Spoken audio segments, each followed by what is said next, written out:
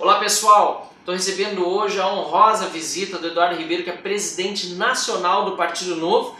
E antes de falar do assunto, que são as perspectivas do Novo para esse ano de 2021, quero agradecer, Eduardo, pelo apoio que você deu, que o diretório deu e que todos os filiados deram à nossa candidatura à presidência da Câmara. Muito obrigado.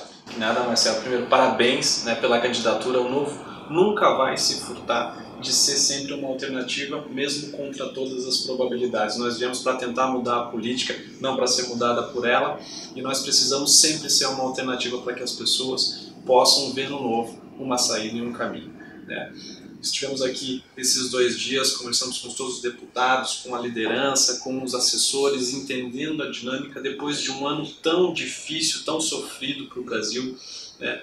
e que ainda vai ser um ano difícil em 2021, mas vivemos uma nova eleição e apesar de todo o contexto, todas as contradições que vivemos na própria eleição, quem sabe aí possa se vislumbrar um futuro próximo com reformas que é aquilo que o Brasil precisa de fato para começar a destravar e a gente começar a seguir o novo rumo aí, lógico, já pensando em 2022 que de novo o novo vai trabalhar para ser uma alternativa e vamos ser uma alternativa. E aqui na Câmara a gente tem tido uma postura independente, muito crítica, inclusive sobre os erros na condução da pandemia que aconteceram. Né? Isso vale para todos os governos, mas obviamente, digo, estaduais, municipais e também federal, mas como deputado federal, nossa responsabilidade é fiscalizar o Poder Executivo federal e ao mesmo tempo de apoio àquelas pautas que são importantes para o Brasil. E o Novo tem aqui na Câmara dos Deputados compromisso com as reformas tributária, administrativa e inclusive, Eduardo, muitas vezes a gente tem defendido elas com muito mais força do que o próprio governo. Não, lembro inclusive na própria reforma da Previdência em que eram apenas os nossos oito deputados federais sozinhos apanhando no fronte, enquanto o próprio governo, próprio governo federal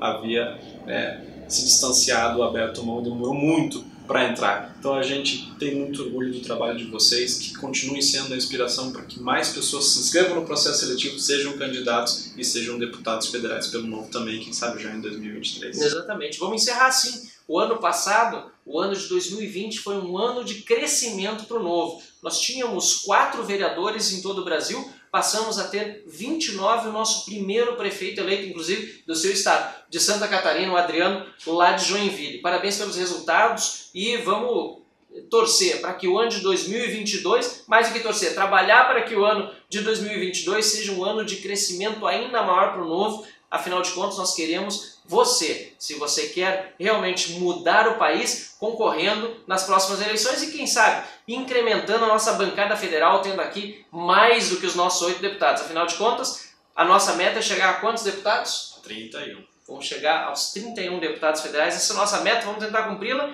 e vamos trabalhar muito para filiar pessoas para participar do processo seletivo. Para encerrar, deixar uma mensagem para quem quiser se filiar ao Partido Novo, participar do processo seletivo, como faz? É isso aí, o Novo é um partido que tem valores e princípios muito claros. Nós preservamos esses valores e princípios através da atuação dos dirigentes, dos mandatários e dos filiados por si só. O Novo não usa fundo partidário, não usa fundo eleitoral. Entra no site, dá uma conferida, novo.org.br. Se se sentir parte daquilo, venha para o partido. Em breve nós vamos abrir o edital para as candidaturas a deputado federal e vai ser muito bom poder contar com a sua presença.